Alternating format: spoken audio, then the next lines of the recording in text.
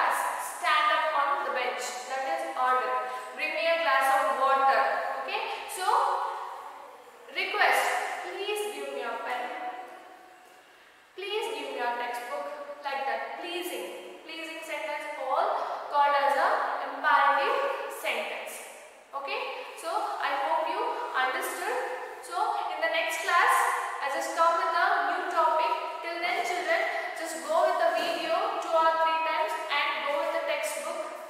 I will meet you in the next video. Till then.